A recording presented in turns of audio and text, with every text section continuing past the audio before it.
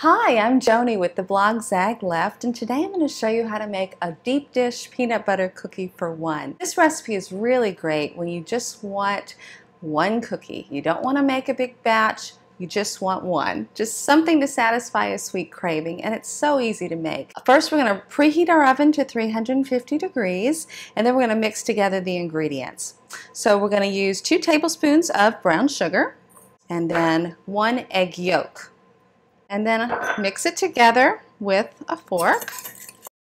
Then we're going to mix in the peanut butter. All right. Then we're going to mix in the dry ingredients. So we've got some flour, a little bit of salt, a little bit of baking powder.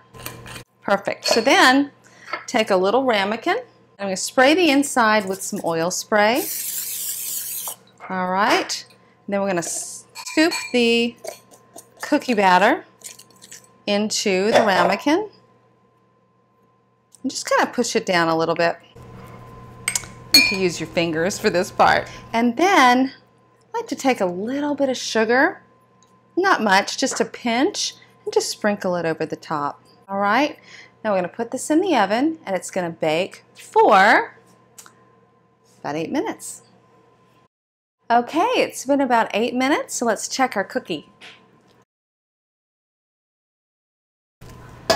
So the cookie is perfectly cooked. It's a little crisp around the edges and the center is super soft and chewy.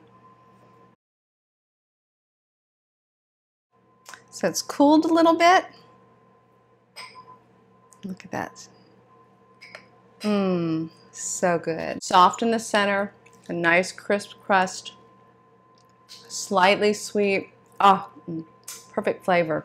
Love it. Enjoy.